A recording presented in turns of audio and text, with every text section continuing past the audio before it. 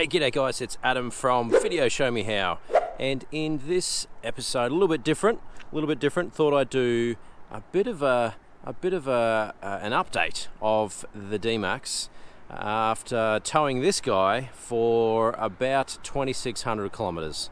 Let's get started. So I've had a bunch of you guys asking how the D-Max has gone. Uh, a few of you guys have, have commented, have been away for the last couple of weeks on a an epic road trip and it's been awesome and a real shakedown of, of the D-Max because it had only done sort of a thousand Ks, 1500 Ks, something like that. So for this video we're going to run through a couple of different topics based on the comments and questions that I've been receiving both on YouTube and on Instagram.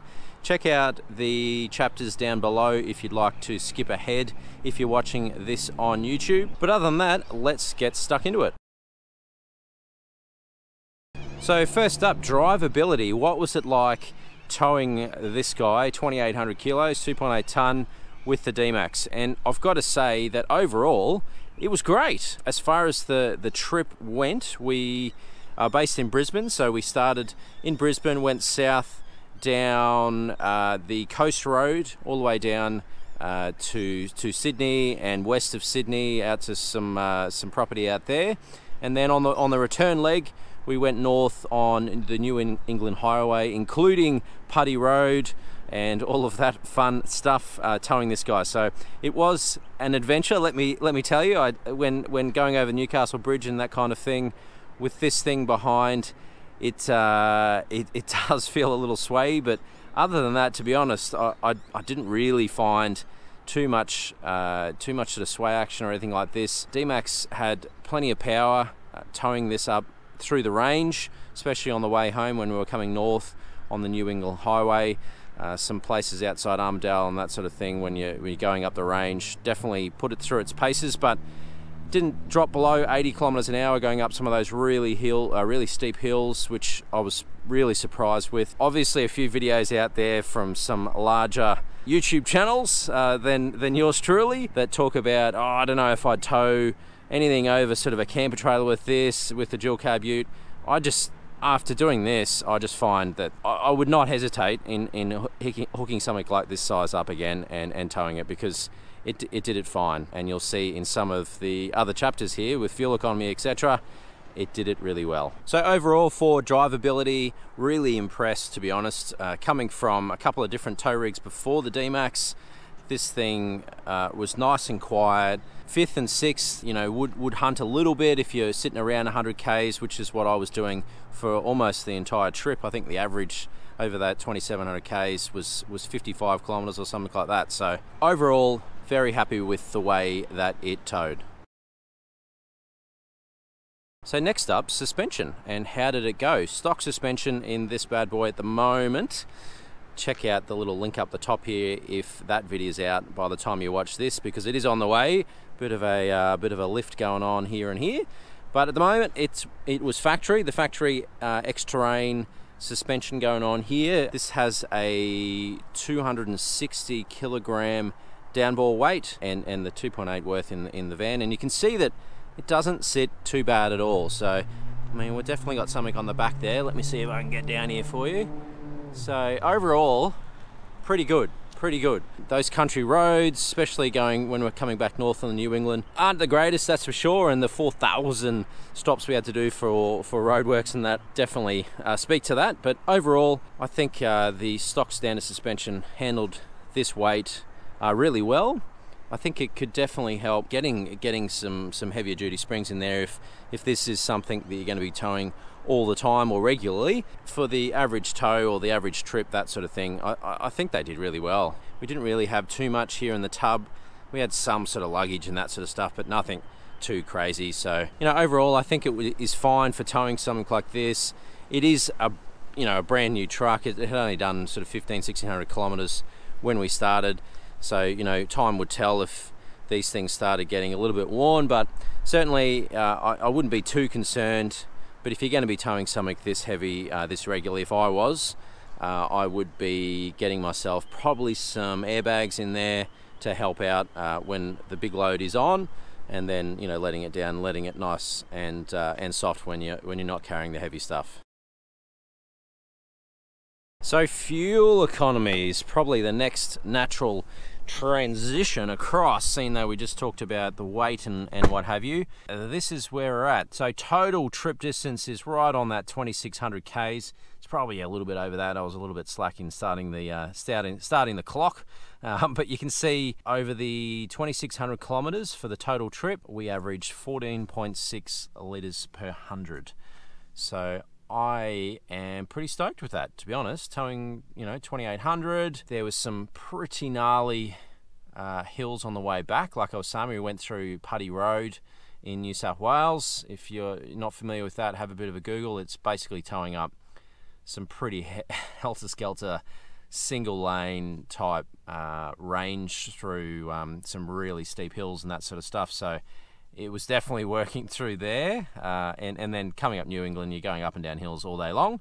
Uh, so if you if you went the coast road, that sort of thing on those sort of kilometres, you, I, I reckon you'd seen the 13s to be honest. But for me, 14.6, that's as real world as it gets. 2600, towing 2.8, and and a real mix of around town in each of the venues. We had a total of uh, 13 nights uh, in different caravan parks and different places, that sort of thing. So uh, there was definitely a mix of, of city and and uh, and highway, probably 70-30. So that's that's about as real world as it gets. 2600 and averaged 14.6. So what do you think? Let me know in the comments below. Uh, you know what you're getting, or uh, any other cars that you've you've had similar loads on on the back, and and you know what sort of mileage you were getting. I mean, I'm, I'm coming from from Jeep World, where I had um, you know Jeeps and that sort of thing for for a whole bunch of years, and the last one being a, a 2.8 turbo diesel, and that was factory like that that that was that was completely unladen, just cruising around. Uh, warranted. It was uh, just a little bit built and that sort of thing. You can see the uh, the vids up there if you if you're interested in checking that uh, that out. I still I still miss it. That that was I was that was kind of the norm for 14. So I'm I'm coming from a place where that was the norm. So I'm I'm I'm more than happy. I reckon that is is fantastic if if um, you know I'm towing that sort of load as well. But but let me know in the comments uh, what you think. All right, so on to temperatures. Now, I thought this was really interesting, and, and some of you guys might obsess over this like me uh, more than others. So, if you're not interested in this, skip ahead to the next chapter. But something that I got really stuck into looking at pretty regularly was live live temps. I use a, an app called Torque Pro, uh, which is this guy here, and uh, underneath the footwell here, I have an OBD sensor plugged in. I'll put a link in the description of the one that I use if you're interested. But if you haven't used it before, it is pretty cool because what it does is allows you to set full basically uh, ECU data and display it. And uh, in this case, I'm using uh, just my phone with the uh, quad lock wireless charging mount, which, to be honest, this is this is the best thing I've found uh, as far as keeping your phone nice and sturdy. So anyway, I'll, I'll, find a link and chuck it in the description if you want to look at that. But this is the the Torque Pro. So I had that running most of most of the drive and I've just got it set up so that I've got intake temps, I've got uh, what our volts are on our battery and what have you, our actual intercooler temps coming through, our coolant temp, uh, both of the EGT sensors, and our overall boost. So, fun fact the maximum boost that the D-Max puts out is about the 22 psi. Interestingly, compared to the Jeep that I had before, the 2.8 turbo diesel, which was also 22 psi, it would get to 22 psi all the time, just cruising around. This in the D-Max very rarely got to 22. It was really only when you were really stressing it that it would give you the full beans. That was that was really interesting. I found most of the time this thing would probably stick to around the sort of the 10 psi, which is which is probably why the uh, the fuel is, is so great. Coolant temps, the maximum I saw was 92 degrees, and I think that is just absolutely fantastic. There are no. This is completely stock engine bay. You've seen all the vids and the mods that I've done to to the uh, to the D-Max so far. 92 was the absolute max I saw on here, and that was climbing that big range outside of Armidale. I'm pretty sure, but it's a super super long uh, steep climb that goes for about 10 15 minutes and 92 is the most, which I was just blown away by. EGT maxed out at 500 degrees on that climb and, and came down quite quick. So overall temps, really impressed. Sort of hovered coolant wise around the 88 degrees. These guys hovered around the sort of 300 degree mark. Uh, but overall, just absolutely fantastic. I am trying to get uh, a custom code for the auto transmission for the D-Max. So if you know what that custom PID is, please let me know in the comment below. I'm still doing the Google search to try uh, try and find it. So ideally, I'll have the uh, the auto temp coolant, uh, the EGTs boosts, and then the cold air and, and intake temps there. So if I do find that out, I'll make sure I update the description of this video. Now, while we're on the top topic of temperatures, it was really interesting to see when uh, the uh, DPD did a burn. And I could see that in the live temps. So you can see that here's our sort of average temps. And then all of a sudden, this is on the freeway, this would happen. And it was, it was only, I only noticed it when we were going south, probably because it was going up and down so many hills, the EGT was fluctuating anyway. But on the freeway, it was sort of constant at these temps and it wouldn't sort of carry on too much. It was it was pretty standard. But then all of a sudden, bam, we'd be we'd be right up there in the sort of the 600s on the second sensor and lower on the first. So you could see that that's that was it in motion. It was sort of creating that sort of blockage so it would really superheat and then uh, and then release. So it would take about that sort of 10 minutes ish.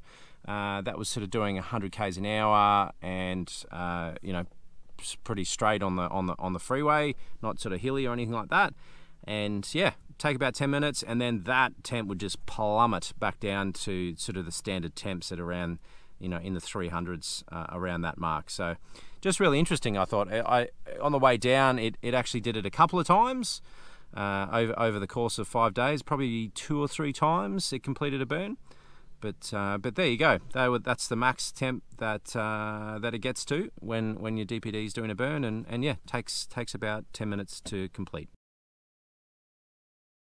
Now safety settings or safety uh, DAS, IDAS, all of those sort of settings. Super bone of contention, super controversial. Of course, if you've been doing any sort of reading on the DMAX and looking at the forums and that sort of stuff, you'll know that not many people are happy with it. My opinion was that it was okay. I definitely think there should be a, you know, a button or something somewhere that you just can go, I'm towing, boom, and it turns off all the bits and pieces. Or even better, you plug the thing in the back to turn off the rear parking sensors. Why doesn't that turn off the other recommended settings for the for the D-Max? I, I, I don't understand. But anyway, I didn't find it too bad. However, I did find probably one out of two times we take off in the morning I forgot. And then of course you can't change these settings. This little the the actual settings icon doesn't even appear if you're in motion, right? You got to be you got to be stopped.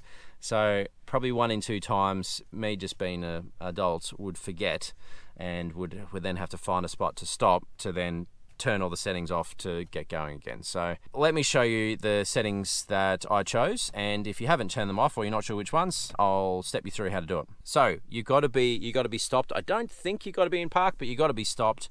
And then what you'll see using your left, right, and enter buttons, the extra option will turn up, which is the little cog. So you just press on him. And then there's a couple of things you need to turn off. So go into driver support settings and I go down straight to automatic emergency braking, brake warning, and then just disable. So you give that a little bit of a think, and then we can get out of that one. Then go back up. It's kind of like in the same driver support settings, if you if you know what I mean. So there's one on that page, and then go down to the next page into the lane support, and this is where you want to turn off your ELK or your emergency lane keeping. I turned the uh, lane departure prevention, put that on warning only, but you can turn that off. I just wanted it so that little lines would still work and tell me if I was uh, getting out of the lane. And then ELK, you want to disable there as well. And that was it. And the kind of the cool thing is it defaults to N, so you just had to hit that a couple of times and you're back and you're away. So that's how you turn off those bits and bobs. I did use the radar cruise the entire time. I had no troubles with that at all. I just kept it at the maximum setting so that there was you know plenty of room uh, in front before the the next car. The, the cruise worked absolutely flawlessly and and was great. But that were the settings that I used. Mirrors. There's these upgrades which uh, are quite expensive. So, you know, it's like I, I've been thinking as well do I need them? Is it something that I would use? That's kind of been my view for the last two and a bit weeks. Out that way and uh, then out that way. These mirrors are pretty good, I reckon. Uh, this van is quite long, as we've we've looked at. I reckon these go pretty well. However, I can definitely see the advantage of the bigger mirrors or the ones that extend out because it's it's really difficult to see the back of that thing um, when you're when you're turning. Uh, I had to take it, you know, really easy and really wide going around roundabouts and that kind of thing to be able to really see the back of it and particularly when you're reversing is is the main one as well. So I haven't had any experience with those little clip-on mirrors. I don't know what they're like. Uh, let me know in the comments below if you if you've used them and, and whether it's worth getting a set. Kind of on the fence. I can see their value. I'm, I'm on the fence whether I, I would get a pair. I think if I was towing that really regularly, then I, I, would probably invest in a set uh, to, to help out with that visibility.